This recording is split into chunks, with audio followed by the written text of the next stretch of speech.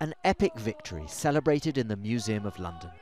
100 years since the first British women got the vote, all thanks to the suffragettes who took on the establishment and won. It wasn't easy. They chained themselves to fences outside Parliament. Many were arrested, beaten, went on hunger strike. One even threw herself at the King's horse in the famous Derby race. She died, but the cause did not.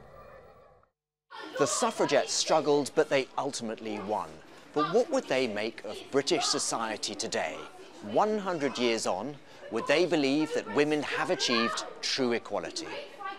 It wasn't until 1928 that younger and poorer women were also given the vote. And, says this very in character actor, the suffragettes always hoped to inspire future generations when we win our fight, that's not going to be the end of all the fights. You know, we're going to have to keep fighting, I'm sure.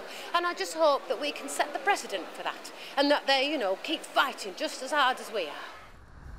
She, no doubt, would agree. Emmeline Pankhurst, leader of the suffragettes, and great grandmother of Helen, who wonders if the glass is only half full. In every single measure of political equality, we still have so far to go. In every single parliament, and in particular in the UK, we only have 32% representation.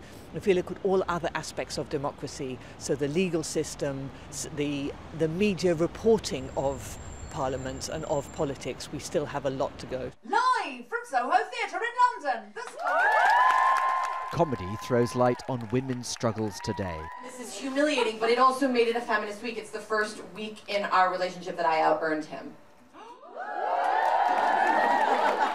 With British institutions, from Parliament to the BBC, hit by revelations of gender discrimination. It feels like we're just failing over and over, but we have to remember the suffragettes failed for over 50 years. They only succeeded once and we only need to su succeed once. Their impossible is our normal life, and we are the hopes of the suffragettes. Our debt to the heroines of the past, maligned in their day as misguided radicals, we remember them as being on the right side of history. Barnaby Phillips, Al Jazeera, London.